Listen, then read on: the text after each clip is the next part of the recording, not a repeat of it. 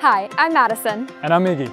And we're students here at Baylor University involved in research. Now you might have heard recently that Baylor just became an R1 institution. But what exactly does that mean? Now, there's a lot of metrics that go into determining this R1 ranking, but essentially, what it means is Baylor is committed to addressing global challenges. So now we're going to take you to a few spots where we do just that. Being R1 means Baylor has a lot of great faculty and staff. Baylor professors are working so hard to address some big issues like environmental health, air pollution, technology advances, and so much more. And to do this, they need a lot of grants, and they're getting them. So what does this mean for you guys? It means you get to take part in major projects that are contributing to solving real-world problems. I think for incoming students or students that we're recruiting to Baylor, R1 status really is a brand. It is something that we recognize as scientists. Students that are looking at graduate programs that want to be at an institution where they know that there are resources, there are great minds on sort of the cutting edge of technology and knowledge. They know what R1 means. Being R1 means that Baylor University has great labs and great equipment. And if you want to get the best results and the best experience, you need to have the best equipment.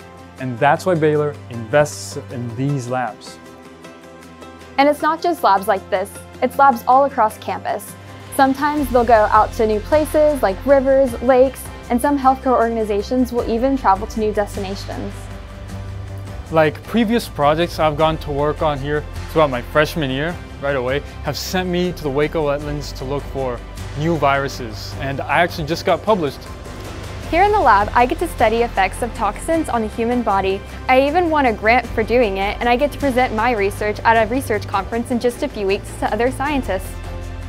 Being R1 opens a lot of unique opportunities for students here, but also outside of campus. I plan to use my knowledge and research in the future as a medical student and as a physician. And I plan to continue using the skills I've learned as I pursue a career in research, just as my professors have done. And being at an R1 university, a nationally recognized brand, makes your Baylor degree that much more valuable. It was really exciting to see Baylor be recognized as an R1 institution, one of the best research institutions in the nation. But it's not just about that, it's not just about the accolades that come from that. It's about the impact, the impact that has on us, the impact it has on you as future students, and the impact that allows our work in the labs to have on the world. Because we're at a place where faculty are intentional about undergraduate research opportunities, you'll quickly see the impact they have as you start your journey here. We hope to see you here soon. Sic 'em Bears!